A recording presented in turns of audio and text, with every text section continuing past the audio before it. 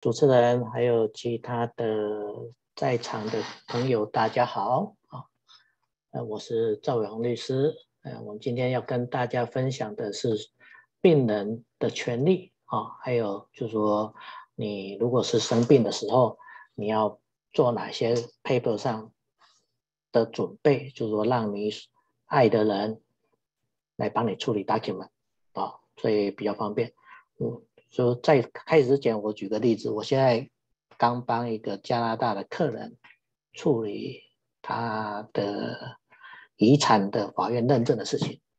他们在加拿大，但是来美国的 Medical Center，就是我们 Houston 的 Cancer Center 来做治疗，然后可能有在这里待的时间有有一阵时间，所以他们决定就在这里买栋房子，然后。Realtor 呢？经纪人跟他讲说，你们是夫妻，所以买房子两个人名字都放在里面。啊，然后很不幸的是，先生没多久去回加拿大去世了，那房子还是在美国，还在我们的 Harris County。那他要他们住在加拿大，所以没有要搬来美国，所以要把他房子卖掉。啊，那他他不是我们 Harris County 的居民，他不是啊，他是只只有一个房地产在这里。那那我有客人常常跟我讲说，那我先生去世了，那我不就是我帮他签字就卖掉了吗？哦，这是很普通大家认为的理所当然的事，但是在美国法律它的设计，你也知道美国人有时候是常常会有几次婚姻、几个小孩，或者没有结婚就有小孩，所以法律的设计是防避，就是说避免。有假的情形发生，他要追求程序上、事实上的正义啊的真实性，所以法律要求你要来证明，你就一个结，你就一次结婚，两个小孩，房子不会说你签字就把它过户。美国 title company 绝对不会做这种事啊啊，那你自己要转给其他的个人，当然 OK 啊，但是你的 title 清不清楚，那叫不 clean 啊，因为你现在没有签字。他如果前面有几次婚姻的话，那他的小孩子，我等一下会介绍，就是我在我们德州，什么是夫妻的共同财产、婚姻的共同财产、个别财产。如果他前面有婚姻，他的小孩子可以分啊，哦，可以分那个房地产，哦，所以不是说一定就是 surviving spouse 未亡人的这个他就是你的，你要去跟法院讲说，他有一次婚姻有两个小孩，就是我们的婚姻的小孩。这样房子才能过户，才能卖啊！好，那我们现在先讲一个这个具体的例子，非常活生生的例子，好，然后再来，我们就开始讲我们的培训的 right，就是你如果是在美国治疗，你是病患，你病患有什么样的权利啊？好，好，这是。我们病患在美国有什么样的权利？哈，当然，第一个就是说，你不论是医院或者是医生啊，治疗你的时候，他要有基本上的要有一些礼节、尊重啊。然后，当然，这个 timely 就是说 responsive attention 这种就很很主观了啊。比如说，你如果是半夜两两三点去去急挂急诊。那如果没有人的话，你等个 maybe 十分钟，有些 ur ur urgent care 或者是 emergency ER maybe 没有客人，但是你如果去的时候，有时候等三个小时呢？我有客人的小孩子就是这样啊，等三个小时，那你算不算 timely？他说他没有人手，或者说很多病患需要处理，好，所以这只是一个 guideline，就是说一个让你他会按照他的时间，他的病患的。多少他的能力多少来尽快的帮你处理哈好，然后第二个就是说你可以 receive information，就是说你要的所有的你想要知道的东西啊，像我们东方人有些传统，比如说父母今天去医院检查出来了，说是什么疾病的末期，或是说医生说你只能活三个月半年。那这种很多家属就说，那干脆跟医院跟医生讲说，就不要告诉他，让他平平安安的走。他在美国他们听到这种我们这种 culture 就会觉觉得非常的不可思议啊，因为就算你是他的太太、他的先生、他的小孩，你也不能帮他做决定，所以要让病患知道。所以在美国就是说，你想要知道什么，医生或医院就要跟你讲说你的身体状况啊，然后为什么呢？你知道以后，你才能决定说你要不要接受这样的治疗啊。所以第三个就是说，你让你有机会可以跟你的医生讨论遇到的，你的这是你的身体，要怎么做处理？这样的处理呢？这样的 treatment 呢？医疗 treatment 有什么样的好处？有什么样的风险？要不要开刀？开刀的成功的几率多少？当然这不是数数学嘛，不是说 十 percent。或九十 percent，九十 percent 开刀失败了，又那那那十 percent，那就说你刚好就是那不幸的那十 percent 啊，啊，所以所以就说这个风险都会有。然后如果你不开这个刀，你还有没有其他的选择？还有这个费用会多少啊？那怎样的程序啊？所以这个你要让病患有权利知道，然后来做这个选择。所以下一章就很重要，这个法律上叫做 informed consent。他的意思是说，你让我知道，然后我来做决定，决定的结果我自己负责。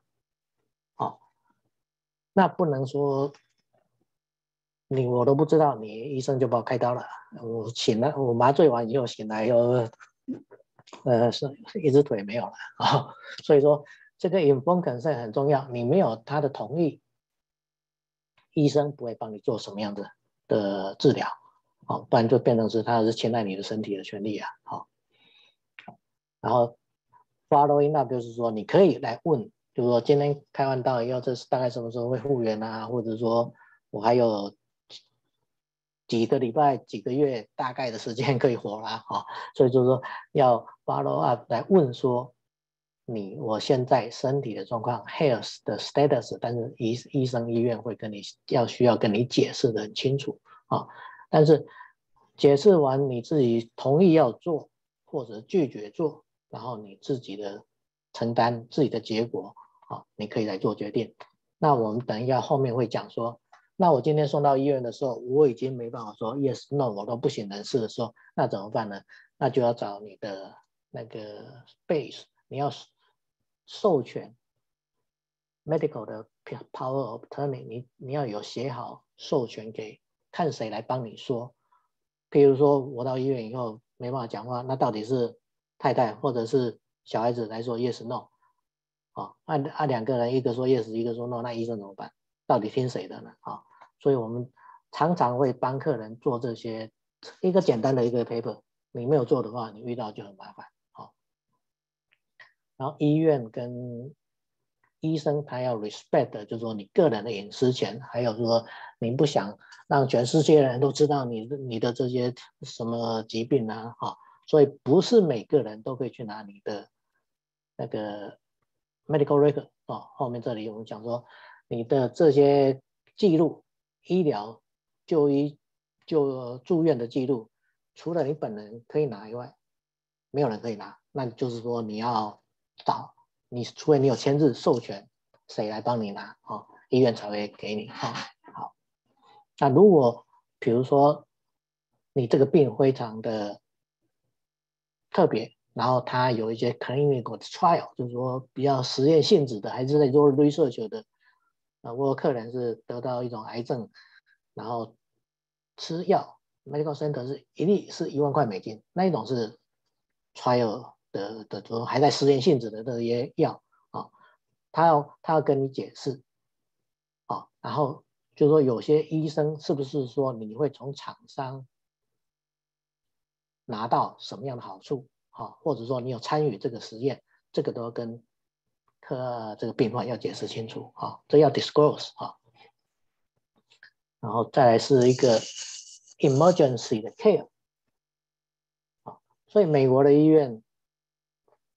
都是这样，嗯，你如果是有非常紧急的，今天发生车祸，就直接把你把你送到送到医院去急急救去了，都去医院了啊，啊，他不会说看拒绝你啊，他不会拒绝你。当然，比如说哪天他已经没有没有床位了，没办法处，没有能力来帮你处理了，他应该救护车会帮你转接到其他的地方。好，那好，他们也也有义务来继续来照顾你，除非就是说他们已经没有能力了。那没有能力的话，他要把你转接到适当的医院啊或医生来继续，那让你做这些医疗的呃照顾哈。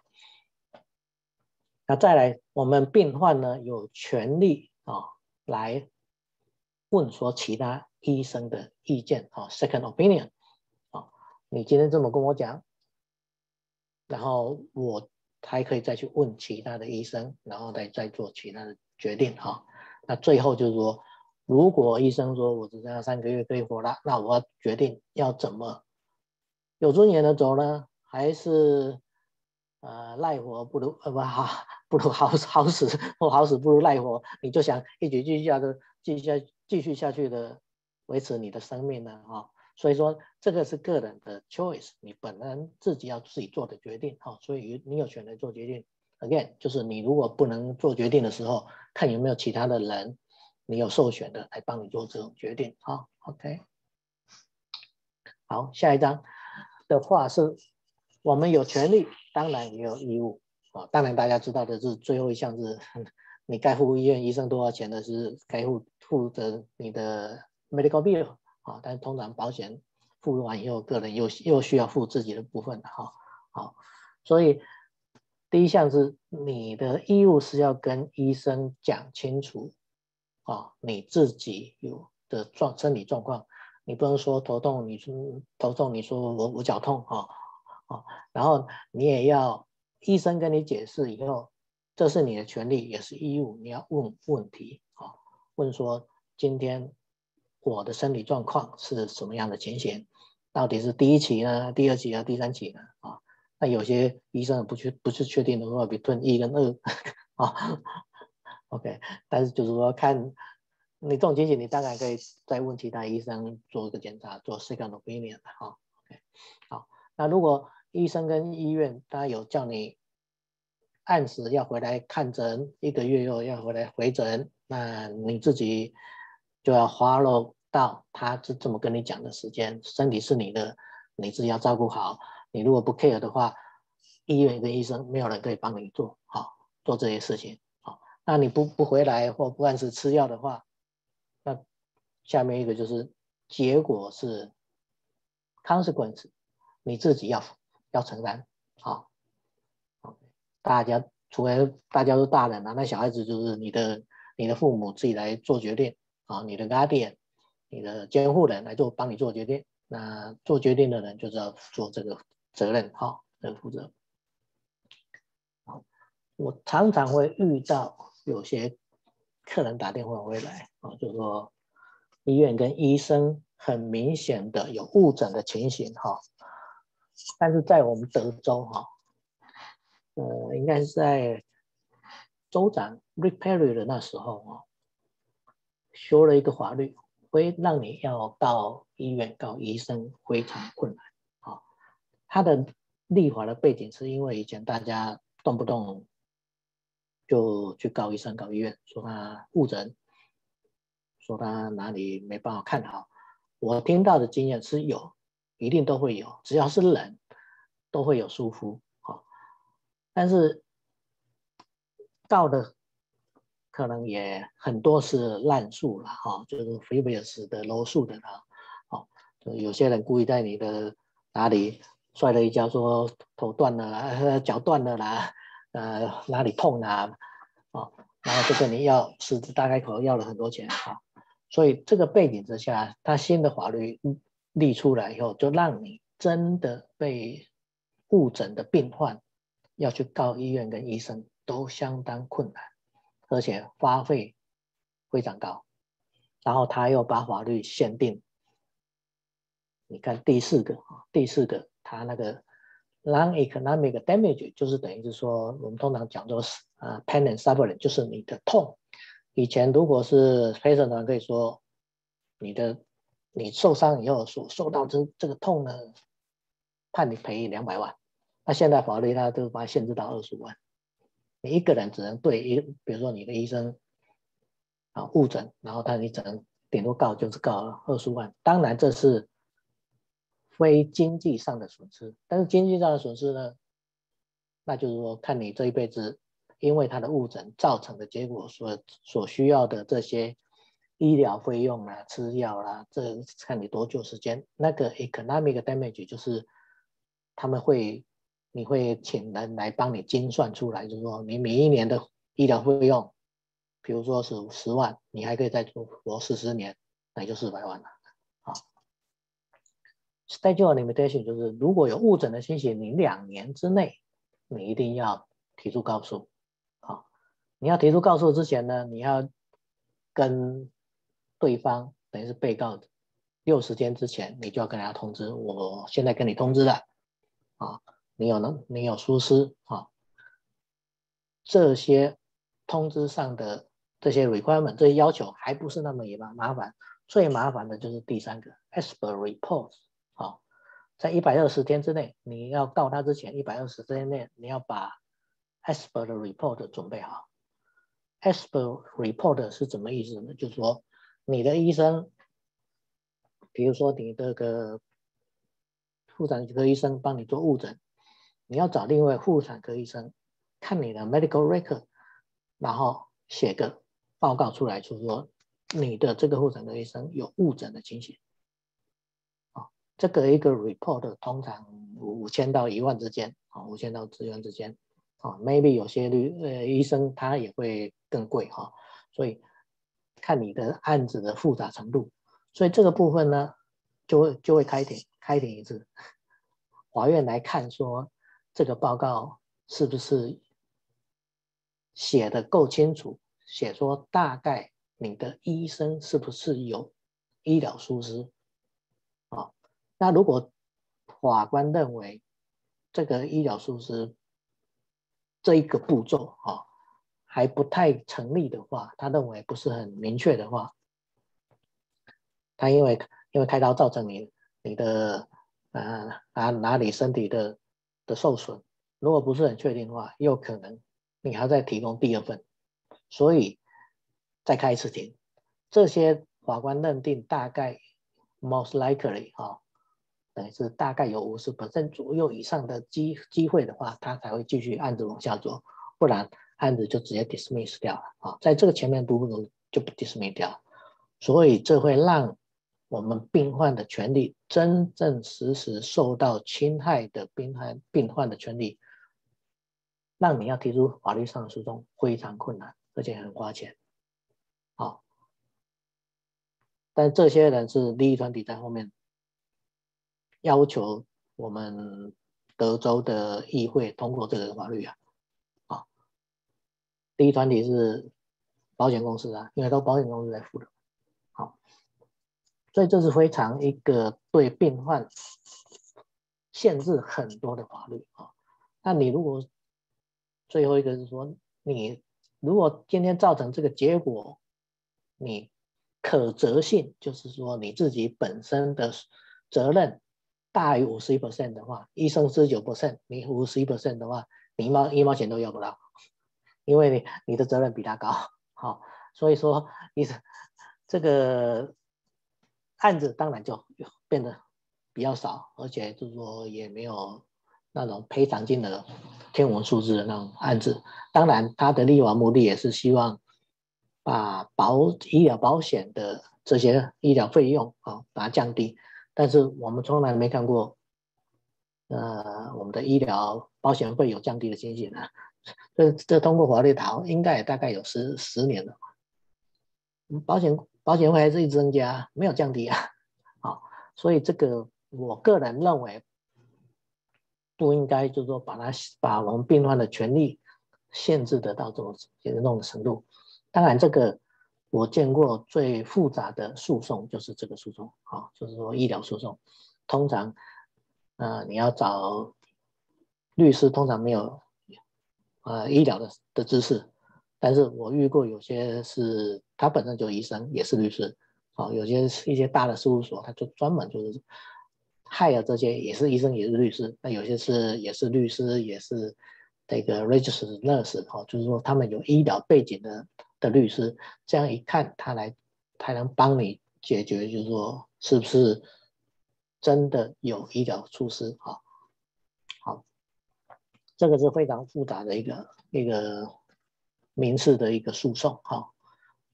好，那我们看的刚刚稍微提到的一点就是，如果我今天在医院，我的意识非常清楚的话。医生说要不要开刀？我说 no。那别的人、其他人说 yes，那也没有用。我讲的为准，好，我讲的为准。那今天我在医院的时候，我已经都不显得是，我都没办法讲 yes no 的时候，那太太跟小孩在旁边，那医生问要不要开刀，太太太都 no，小孩说 yes，那怎么办呢？哦，所以我们就是 要有。在我们意识非常 clear、三脉非常清楚的时候，就得要把这个 document 准备好。那医生问你就把这个 document 准备好。第一个是谁？我第一个太太说好开刀，那就开。那太太说我没有办我没办法做决定。那问第二个谁？谁来帮你做决定？那就是小孩子帮你做决定啊。最近一个客人，那是夫妻两个就说，我没办法帮你。遇到情形事情的时候，我没办法帮你做决定，所以就是有小孩子来帮你做决定。好，好，那我们现在讲的这个荧幕上看到的个这个叫做 derivative physician，我们俗称上的叫做 living will 啊，他的目的就是直接跟医生讲，我不需要任何人帮我做决定，我直接跟医生讲说，这两种情形的心的。状况之下，我要怎么样的催眠啊？用一次用一个最简单的方式来讲，就是说我要怎么死啊？我要拖躺躺在病床上十年，插管，什么都不要插氧气筒都插啊，这也是我的意愿，你也可以这么写。那另外一个说，你你只要让我不痛。那就昏迷的，慢慢就走了。那这也是你自己的选择啊，但是你要跟医生讲，跟医院讲，啊，别人都不能帮你做决定，啊，所以说现在比较大家，我大部分的客人都是觉得我要怎么遇到这种情形，我要怎么来处理，是我的决定。大部分的客人都会，就是我就写这个这个，那这个 derivative。就是说，对医疗指令，对医生、医院的医疗指令呢，只有适用两种情形啊。第一种 terminal 的情形啊，就是末期，医生已经跟我讲说，这个 cancer 你遇到你这个情，已经是第四期了，你只能活三个月啊。那末期应该是说你只能活六个月，那这种情形适用。那有些植物人怎么办呢？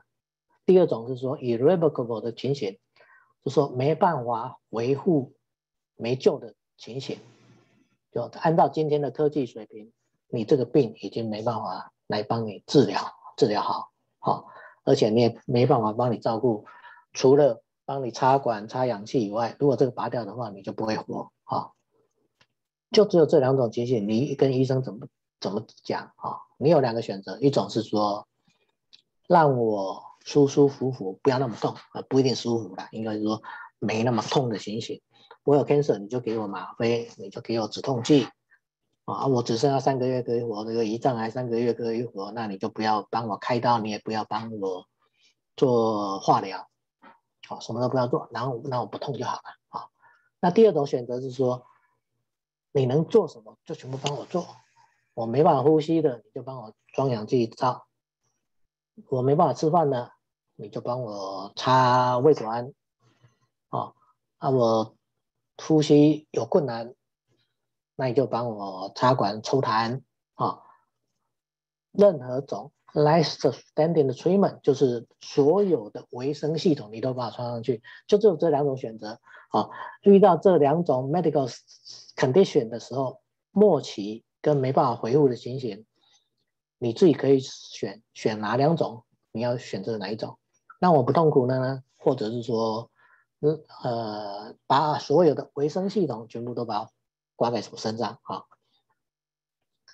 你如果写医生医院，就按照你的意思哦。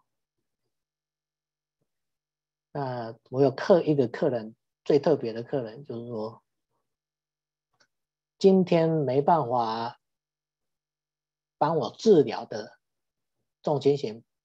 你不知道十年、二十年后会不会还是没办法治疗？有可能啊，科技的发达的很快哈，所以他就说：“哎，我就算是躺在床上十年、二十年都不知道的话，你还是帮我把所有的该插的都插进去啊。”这种是比较特别，但是这是你自己的选择，你要选择哪一种，你要跟医生讲啊。但有些客人是。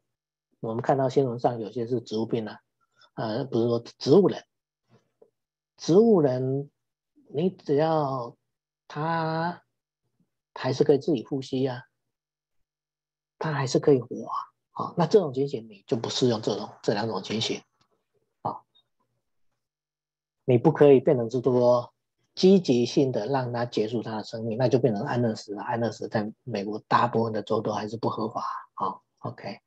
所以这是给医生的指令，大家只要记得，只有这两种情形是用默许或者是没有救的情形啊。那你可以自己选择。那有些客人就选说，有一个客人来看了，想了半天说他还是没办法做决定，那就谁来帮他做决定？我们看下一张，这就是说医疗上的授权书。我们刚刚讲的那一个，如果没写的话，就有医疗上的授权书。你授权谁来帮你做决定？好，这也是可以，也是可以哈。你就说，那我全部都不管你哪一种情形，就是我委托我信任的人来帮你做决定就是了啊。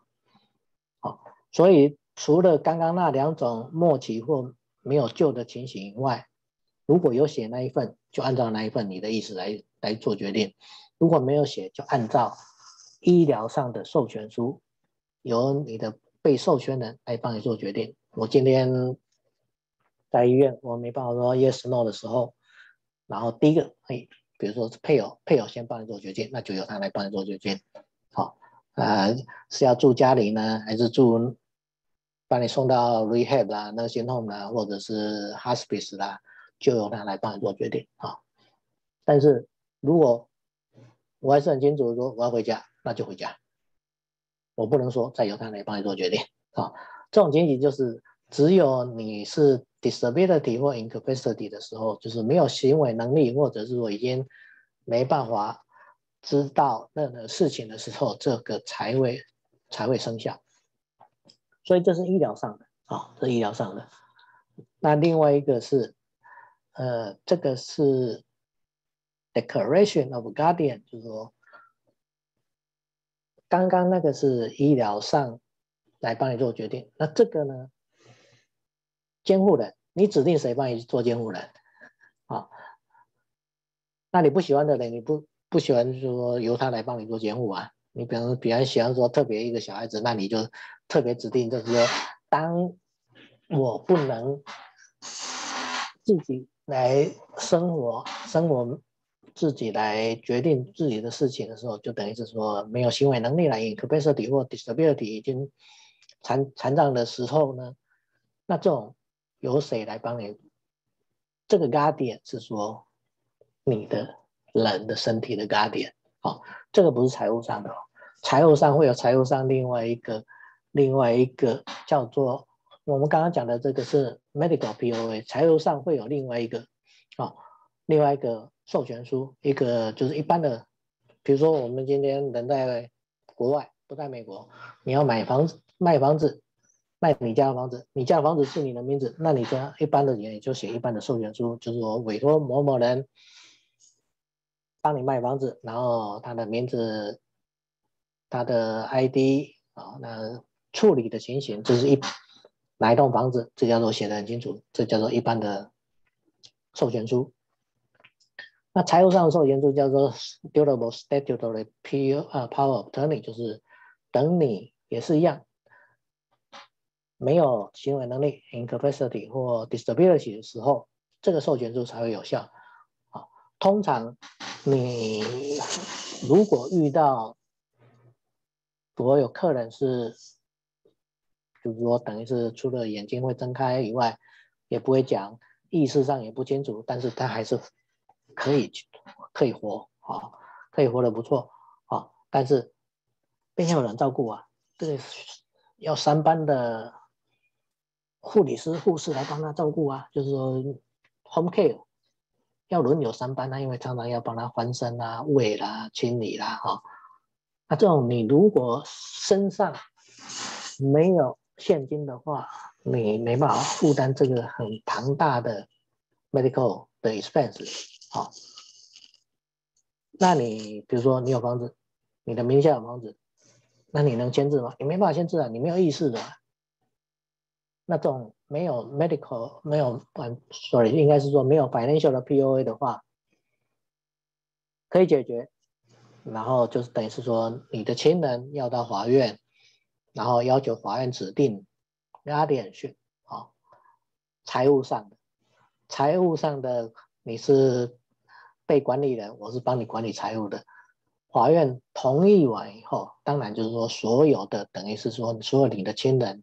大家都没意见，都同意了以后，法官同意了以后，你才可以，比如说卖这栋房子来付你的医疗费用，或者是说从这房子借钱出来来负担你的医疗费用，他才可以帮你签字。一定要有法院认可的这个 guardianship 啊，这个监护人的手程序。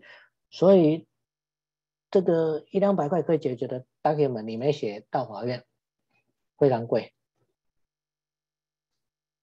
比如说你要，因为怕法院怕说你的监护人把你的财产全部拿走了，把房子卖了，拿了他自己跑了。啊，所以法院他修不摆，你要卖之前要法院同意，要卖多少钱，那卖完以后他还要看说你这个钱是不是有用在你身上，所以诈骗罪非常贵啊。很贵、很花钱、很花时间的事情，所以这些简单的 document、financial 或 medical 的 POA，你们平常意识还很清楚的时候，赶快把它写一写啊，这个到时候可以避免掉一些简单的事情哦。最近有客人是先生，简单在网上把他把自己的遗嘱写一写，哦，然后拿到 UBS。呃，他那有帮你做公证啊，然后还有员工帮你做 witness。那现在是这个也是他应该是说他唯一的 manager，但是他都没有小孩。他的妹妹说，我哥哥当初有说他要留这个几个 account，account 都还不少钱。好，他留这个几个 account 给我，但是遗嘱里面没这么写啊，所以他 will contest，他要去抗议，说我哥哥写的时候，第一个有可能把我漏掉，第二个就是说受到。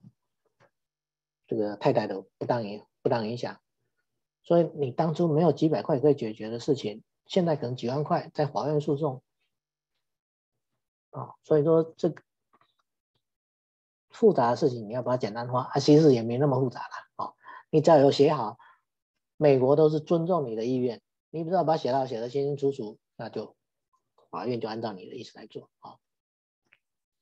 好，那我们再来。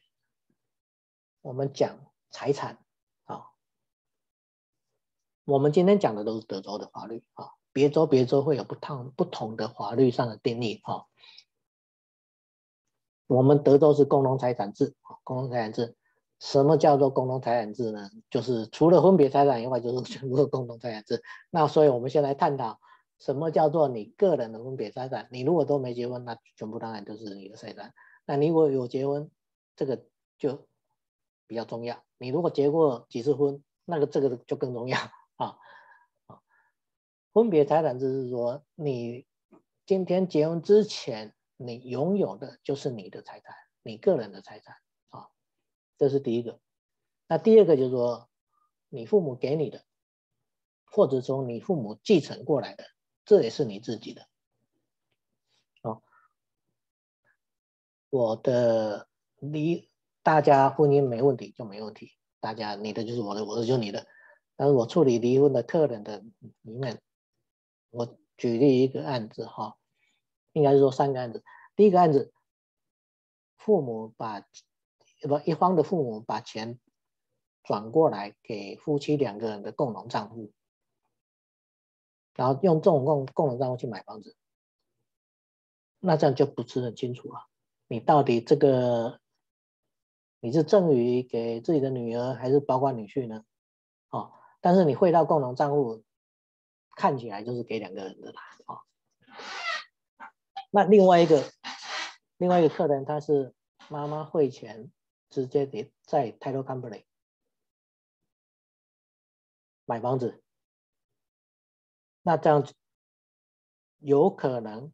就说，看起来虽然是夫妻是两个人的名字在房子里面，但是他这个妈妈可以说，我我不是赠与你双方的，我是赠与我自己的小孩啊，有可能啊，没有像说共同财产那个那个那共同账户那个是最，法院判还是判一人一半，因为他是共同财产，共同账户里面的共同财产啊，那你如果是直接汇到泰罗卡姆你就。他的妈妈可以到法庭上作证，就是说我只给我小孩，或者说这笔钱是我自己这样投资的，但是因为我不在美国啊，所以房子放这个小孩子的名字啊，啊，小孩子跟他配偶的名字啊。那另外一个客人，他是他妈妈写张支票，写给他的儿子，放到他个人的账户，上面就是写说 inheritance，就是。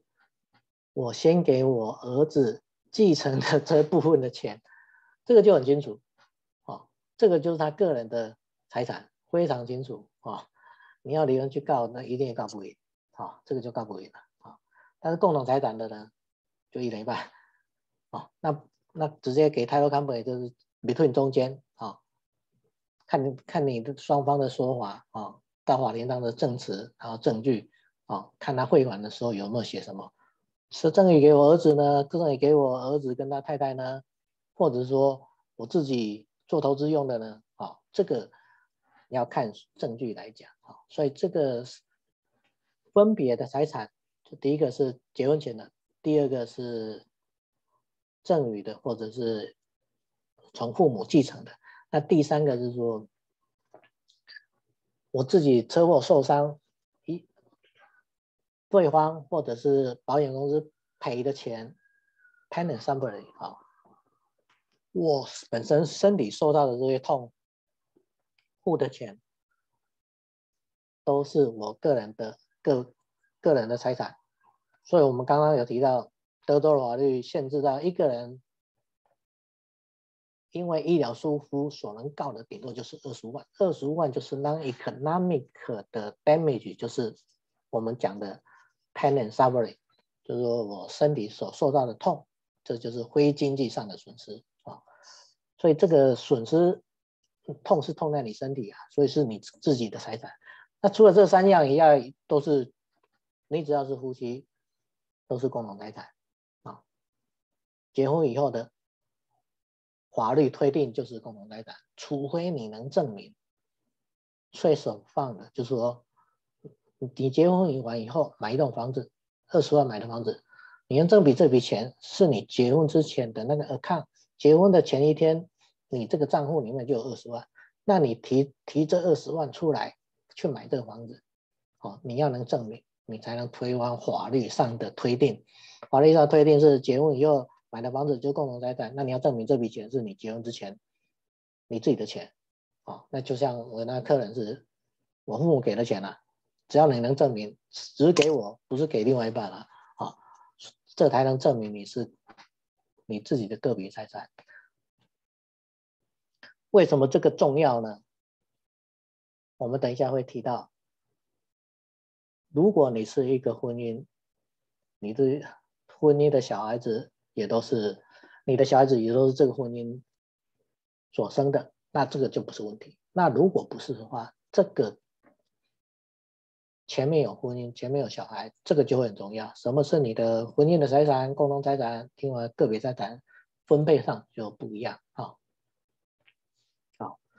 我们讲完了这个财产我们现在来讲什么叫做是 probate property 啊，probate 就是遗嘱认证啊，在 Harris County 我们四个法庭，那在其他因为 Harris Harris County Houston 比较大，它就单独出来有四个 probate court，那其他的 county 就是在 County Court of Law 的哈，就是 county 的法法庭。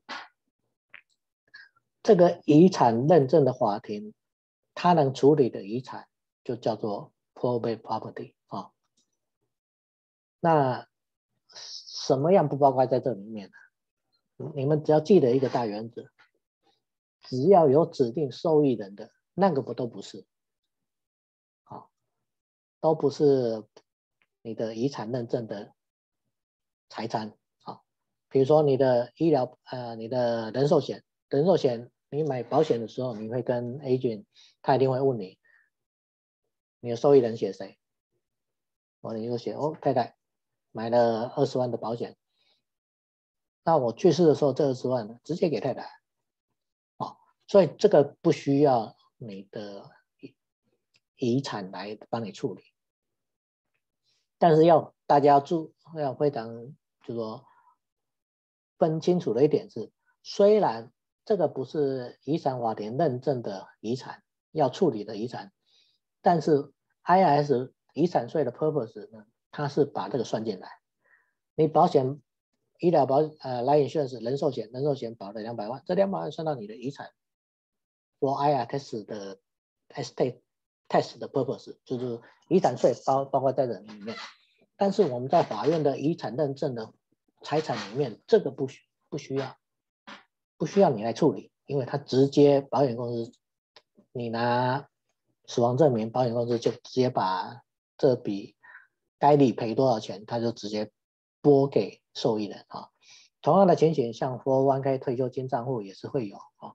那另外有些是 tenancy in common，就是你把财产，通常这个都是房地产，你把它放在一起，然后你写说 tenancy in common 或者第四项 joint tenancy with right of survivorship，就是谁走了以后，另外那个就是第四项是说谁走了以后，剩下的全部给另另外一个人。好，那第三项是说，每个人就跟营养一样，第五个一样啊，join the main account，不论这个房地产有两个人、三个人，好，每个人都会拿百分百分之百，就像你跟他啊配偶的那个共同账户，共同账户任何人都可以把钱领出来，啊，同样这个道理，那这种情形。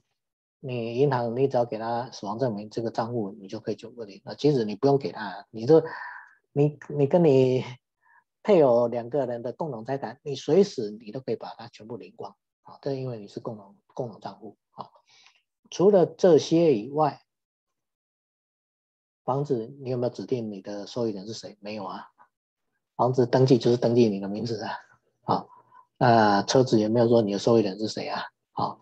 那你的账户，你如果没有写说共同财产或你的个人的私房钱，你个人的名字，你也没有写说 POD 培养 Day 这个账户给谁？那所以还是要有这个 probate 的程序啊。那 probate 的程序简单的，你就写一个遗嘱，你要把钱给谁？好，那没写的结果，按照法律来规定。好，在美国，在德州。你高兴把你的钱给谁就给谁啊！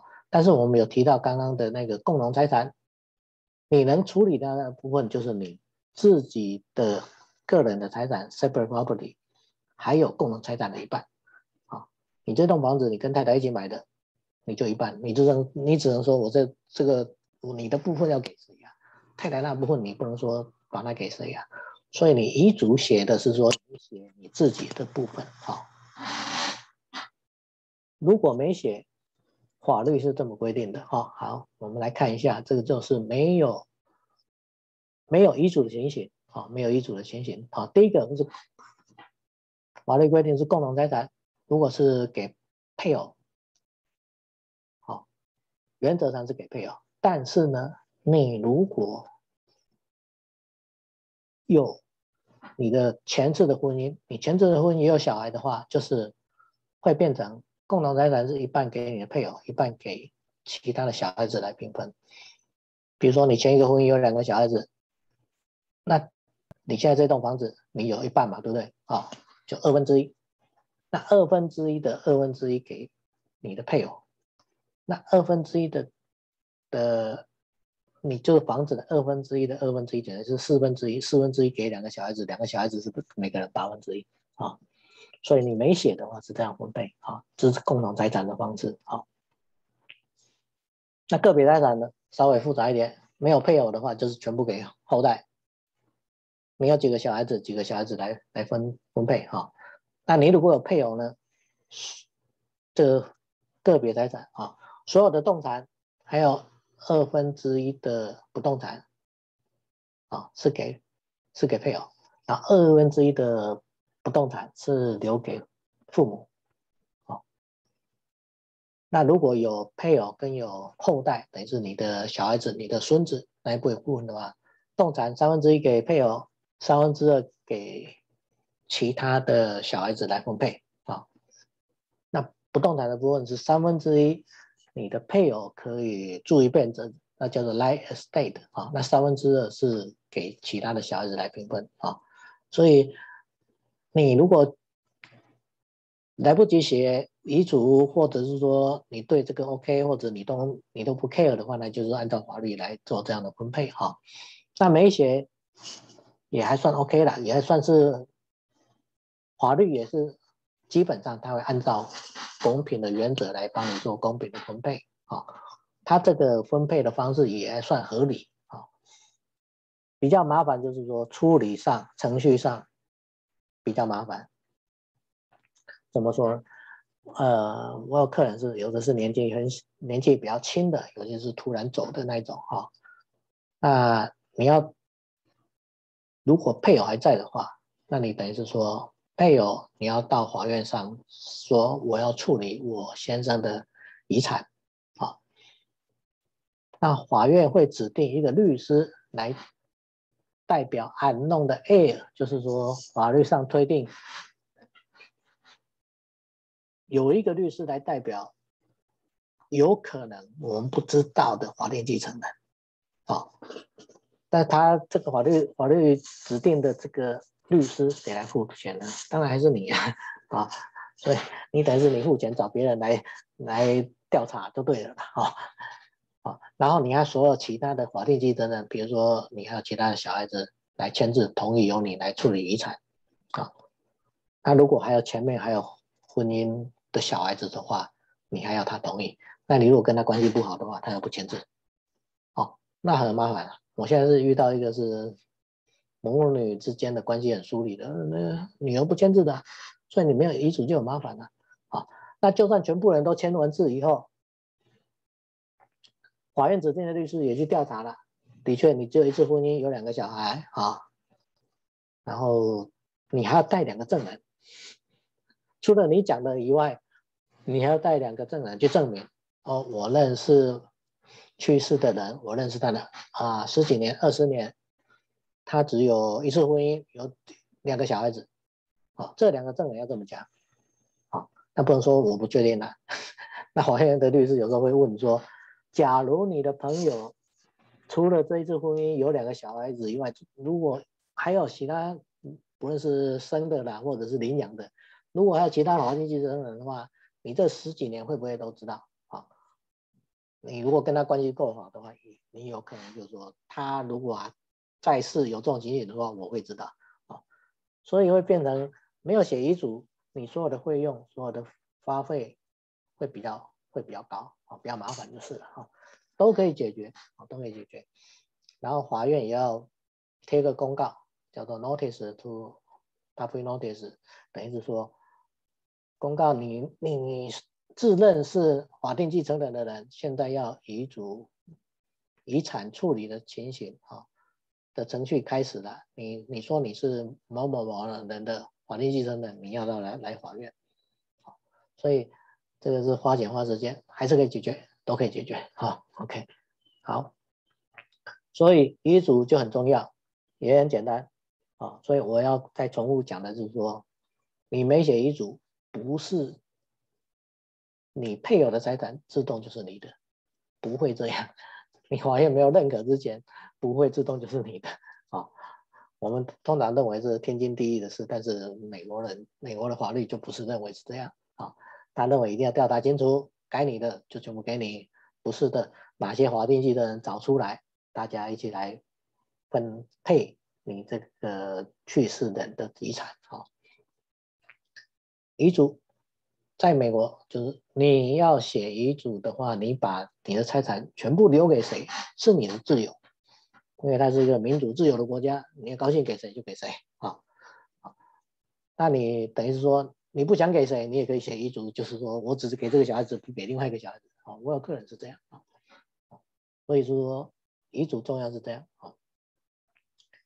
然后如果今年我们的遗产税是一千一百七十个，呃，一千一百七十万啊，如果有超过这个数字的客人的话，这就要非常注意了哈，因为遗产税是四十一到五十五左右啊。遗产税，所以你只要一超过，它这个遗产税非常会非常重，非常可怕。啊，你在九个月之内，你要把现金交给 IRS 啊。所以如果有这种情形，你的那个 estate planning 等于是说你的遗嘱的要写的有信托。哦，比如说你的夫妻两个人是二十万，好吧，应该是说两两千万的哈，twenty million。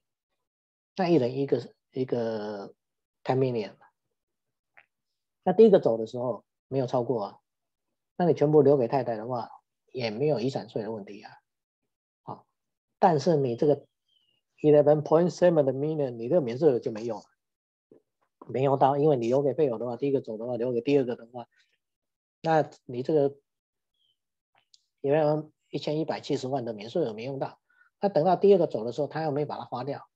两千万没花掉的话，没花到，假设那时候还是一千一百七十万的话，你没有把，你没有把呃九百万啊九百万花掉的话，他还有两千万呢。那两千万超过的话，大概八万呃八百三十万，你要缴的税如果是一半的话，也要四百万去了啊。所以你没有把这个遗嘱写好的话。第一个人走没有用到这一千一百七十万的免税额，那第二个走的时候，你交的遗产税就非常可怕。好，那我国税局它也有一个法律上的机制，让你可以合法节税，所以我们律师就会把它设立一个叫做 A trust，一个叫 B trust，B trust 就是 family trust。好，你现在跟太太有。两千万，那你就把一千一百七十万拨到 family 的 trust B trust，那剩下呢？剩下不论你是一千万、两千万、一亿，全部到太太那边，那叫 A trust。啊，你留给太太是完全都不用税啊，都不用遗产税啊。但是你留给 family trust，你刚好用完一千一百七十万的免税额，所以你的免税额都用了。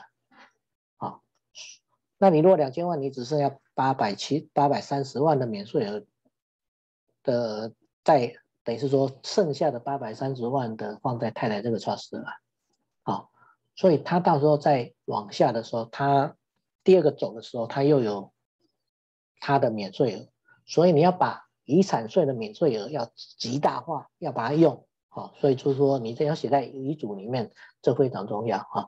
所以你们如果有一有这个财产超过每年每年的免税额的情形，这个遗嘱可以帮你省下非常非常多的税啊。当然，这个免税额从我开始 practice 一百万到现在一千一百七十万，那什么时候会掉下来也是有可能啊啊，可能以前有到五百万的，那五百万，我想一一千一百七十万大概没有多很没有几 percentage 的人可以。可以超过了哈，但是如果掉到五百万，可能就很多了啊，有股票啦、房地产啦、投资啊这些，有可能就会超过啊。所以这个遗嘱的钱对某些人是非常重要啊。对，啊，应该是说，在美国 都还算很重要，让让让你要帮你处理呃财产的人、遗产的人比较好做事情啊。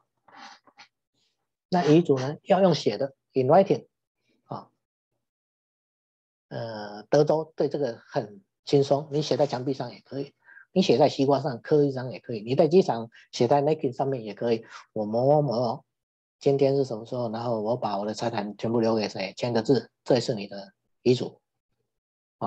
所以，我们律师界开会，就是西瓜也可以当做当做遗嘱，哈，就非常，就是说法律会会非常松。那只要你十八岁，你头脑可以眼上脉，你头脑非常清楚的时候写的都可以啊。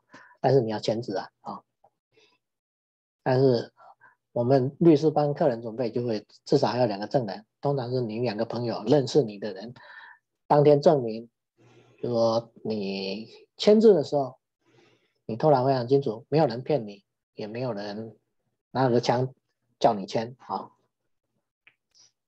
然后遗嘱后面最后还有一个 seal proving 的 affidavit，它这个功能是说，它证明你是本人来签字，然后这两个证人也当场在场看你签字啊。